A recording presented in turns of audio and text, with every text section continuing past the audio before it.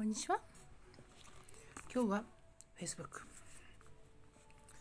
えその人、まあ、その、その人ですね。その時代の人の、その魂の人のことを呼んでますが、その人は、その魂、プラスの人とマイナスの人がいますという記事をこの間読んだような気がするんですが、ちょっと目に留まったのでもう一回読みます。え、そのプラスの人というのは、あのその人ですね。今までずっと何十年も生きてきて、その時代を生きてきた魂の人みんなですね。まあ私たちもみんなそうなんですよ。26歳、うーんと、22、23、24、25、25、26歳よりも、うん、上の人みんなその人です。今、現在ね。で、あのその人はプラスの人とマイナスの人がいてプラスの人そのプラスの人っていうのはただ淡々に苦労しながら生きてます苦しい苦しいながら他人を非難しながら批判しながら人の生活に口出しながら 文句言いながら苦労がないと生きてる価値がないぐらいなことを言って生きてる方たちがそのプラスの人です。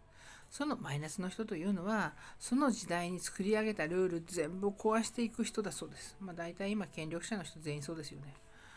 え、今の時代の人でその人ってなかなかいないんじゃないかと思うんですよね。そのマイナスの人ばっかりだと思いますよ。なぜなら今までのその政府がよろしくないと言って選ばれた人ばかりなので、まあね、大きな国のある方なんかも、すごいそのマイナスの人ですよね。バンバンバンバン壊してきますよね で。新しい制度作りますよ、多分。で、今までの期間はお金ばっかりかかって、みんながお金を出し合って、もう負担でもう限界ですっていうのが、実は、言っちゃっていいあるんだと思うんですね。で、違う形で応援しないか軍事力とお金ではない違う方法であの一致団結しませんかっていう集団が出来上がっていくと思います。で読みつつあの読んでないんですが、うん、でそのマイナスの人っていうのはとにかくルールを破壊していきます。新しい時代のルールを作るために。であの破壊した時に突然ポッと死んでしまう可能性もあるんですね。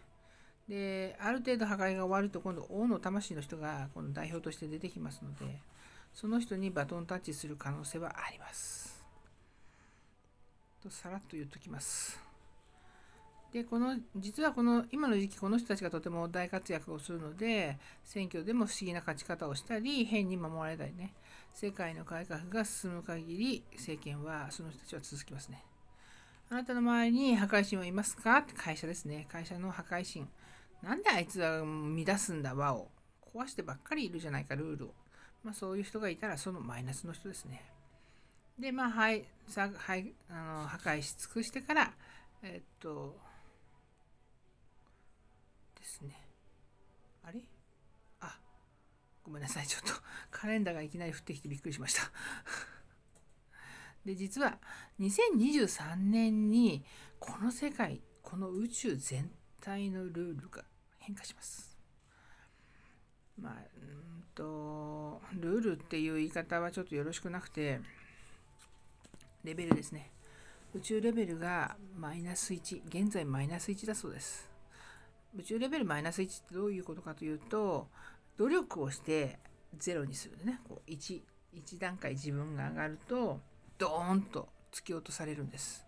ありませんか？ありますよ。めちゃめちゃありますよ。いいなと思うと嫌なことドーンと来て、ダメになって、なんでこんな頑張ったのにまた落とされたかなっていうね。これ宇宙レベルマイナス1だから。マイナス1。マイナス1。だから、今まずまずいことやったぞ。どうしよう。まあいいや。えっと、マイナス1だから、どうしても、あの、嫌なことが続いてしまう。いいことと悪いことが1対1で来るっていう世界です。で2023年何が来るかなんと、プラス1。できた宇宙レベルがプラス1になります。どういうことか。悪いことがあるといいこと絶対あるんですよ。引き上げられるんです、無理やりに。だから、3年後、何が起きる？えっ、ー、と、0に、ね、何でも0になったら必ずプラス1になるように、まお金も何も全部集まるようにできます。だから、これからはないものをあるという形に変えていこうという時代です。でまだ今ね、その、有無を有にするっていうことを実現するために今いろんな改革が起きてるので、コロナもそんな期間です。コロナだけではないです。インフルエンザその他。ウイルスであの思考も変えてます。今回のコロナは王の時代の思考を注入する役割もありますよっていうのをちょっとどっかで聞きました。だから、どうしても全世界の人にあの本当は広まってほしいらしいです。軽くね、感染してくれる程度でいいんです。発病しなくていいんです。発病させてしまうと重篤になります。ちょっときついです。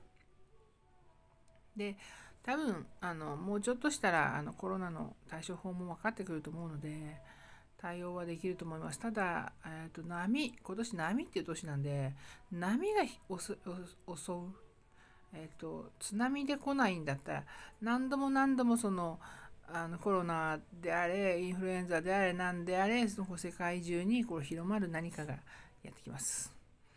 でそれによっていろんな改革がなされていきますので私たちはその改革を受けて次の王の時代へあの進んでいくことになりますね。今何分だからこの辺りをまあ本で書けたらいいなと思います。でちょっとその宇宙レベルプラス1になるにあたって今私本を書かされてますけど、とえー、本を書こうとするとやっぱり止められますね。さっきも言いましたが、えっとこういい調子で書いてるとドーンと落とされる。困ったねって思ってますけどね。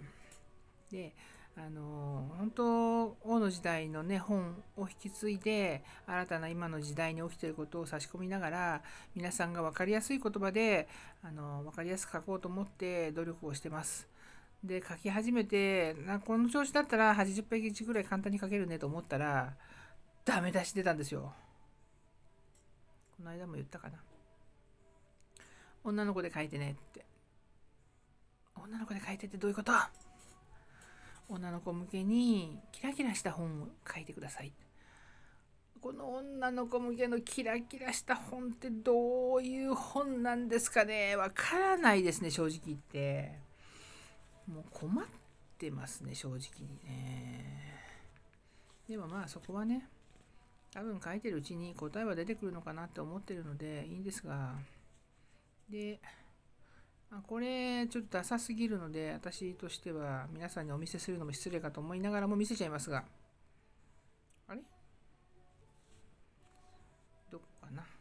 こっちか。どんどん。じゃん。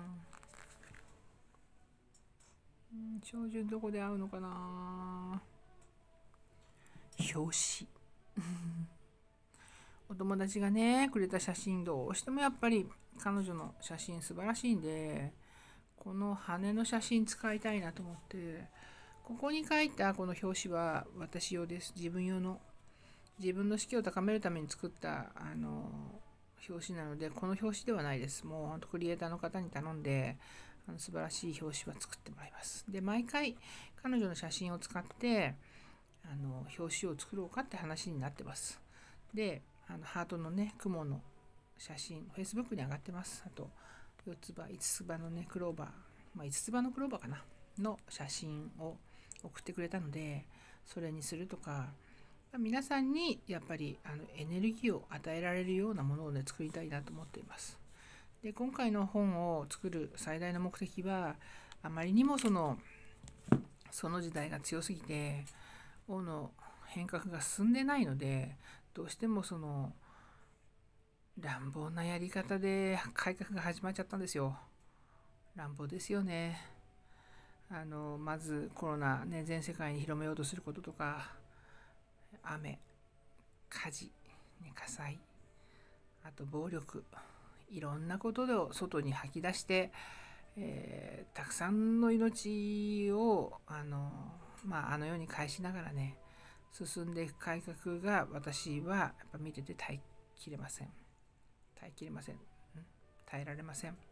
だから言葉でエネルギーであの世界中にそれを広めたいと思って本に王のエネルギー閉じ込めます。持ってるだけでいいですよ。あの持ち歩くだけでそのあなたの周りの空間は王のエネルギーに変わるように調整しておきます。だから文章を読んでもらわなくてもいいです。持ってるだけでいいです。で今回1500円安くしました。あの高いと買えないしちょうどプレゼントにもいいかなと思うんですね。1500円で消費税分ぐらいだったら。でそれをま最終的には Kindle にあげちゃいます。あの転売屋さんねそういうの売るの得意なんでね。45万で売られると売られると嫌なんで。できたらあの安い段階であげたらいいなと思っています。切れないように頑張りますがあの王の時代の本は儲けるために書く本じゃないんです。あくまで皆さんにエネルギーを配るというのが目的の本です。だから株数もちょっとあんまり出せなかったり、えっと、そこから上がる利益もあまりあまりというか あのみんなに配ったらなくなってしまって 笑いました。ゼロなんだなって。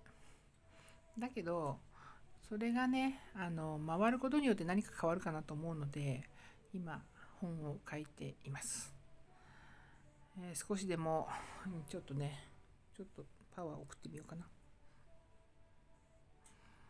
ちょっと手かざしてみてあったかいはずなんだけどね。今日はちょっと内容的にちょっと寂しい感じでしたがすいません。まあこんな日もありかな。ほとんどあのドラゴンボールの世界ですが。またね